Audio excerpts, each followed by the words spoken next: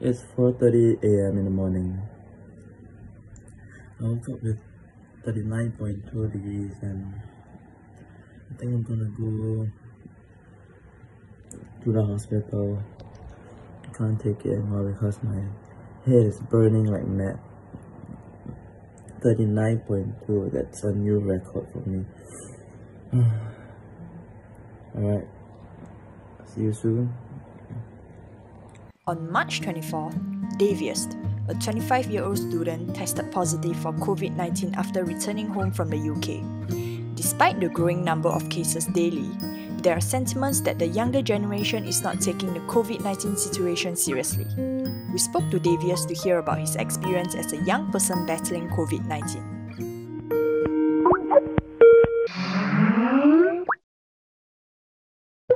Okay, hi, I'm Daviest. Uh, I'm 25 this year.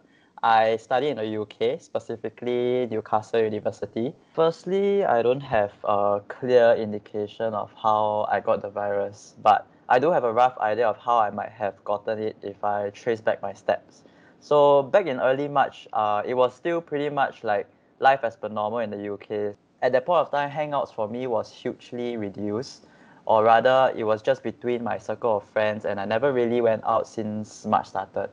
But there was just one celebratory night that I went on with my international friends that uh, it was somewhat like a social school event. Basically during the night, uh, I think I might have shared some drinks and you know how in a club you might touch the tables, the walls and the cups and everything. So uh, you, I might have t- touched my face as well. I mean, even for someone like me, I went out with masks in the UK. I used gloves, and uh, when I went to grocery shopping, so it only took just one night out or hang out to contract the virus, even though I took necessary precautions in the other days.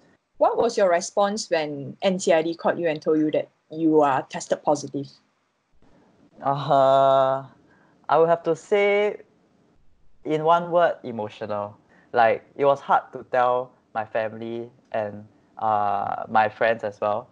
But firstly, I was really glad to have decided to stay away from my family because uh, when I came back, uh, I knew my sister was pregnant and my, my parents were not very young either. Back then, uh, in day three or day four, I had I was showing symptoms like a high fever.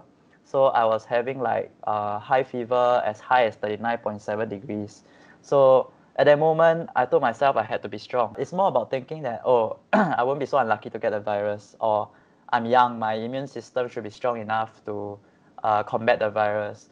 But honestly, you can see that there are more increasingly, increasingly more younger people um, contracting the virus and even passed on from it as well.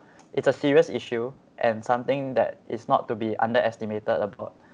And also, from my own experience, uh, like if you think you don't care or that the healthcare services are good enough to help you recover, then think again. Because like my condition is considered quite mild, where I have experienced slight shortness of breath, chest pain, nausea, lost sense of taste and smell, uh, and even fatigue to the point where I can't really get out of bed. So you can imagine how it is for those people whose cases are more severe and it's already been my 18th day being isolated alone but i'm still tested positive.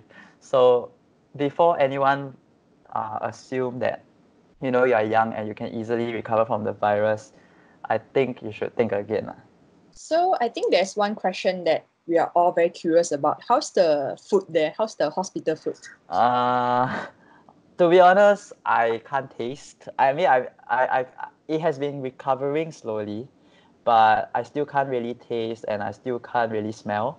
So when people ask me this question, I can't answer this question because I don't know how the hospital food is, but it looks good. You know, as a as a young person, right? What's your take on like the even before the circuit breaker measures implemented, like they they just kept going out for clubs to drink, you know, posting on their Insta story, you know, one last day before these circuit breaker measures starts What's your take on that? I can't stress this enough, like how important it is to take the circuit breaker measure seriously because I understand how it it feels to want to go out, have fun, have drinks with friends, play sports and games with friends, uh, eat with friends, or even party with friends.